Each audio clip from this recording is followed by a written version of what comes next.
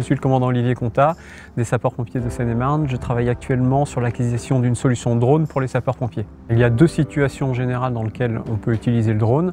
La première qui est la reconnaissance, c'est-à-dire avoir une vision aérienne de la zone d'intervention pour avoir des images et pouvoir aider le commandant des opérations de secours à prendre des décisions sur intervention. Donc la deuxième situation est une situation de reconnaissance de sécurité, l'objectif étant d'envoyer un drone à la place d'un homme afin qu'il puisse nous renvoyer de la vidéo et en fonction de l'analyse que l'on fait, on envoie une équipe pour intervenir.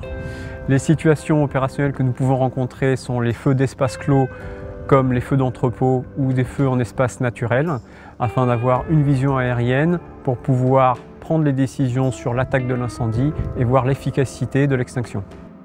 Pour la situation de sécurité, euh, les domaines d'application sont notamment le risque technologique, chimique ou radiologique et l'envoi du drone à la place de l'homme euh, permet d'évoluer en toute sécurité.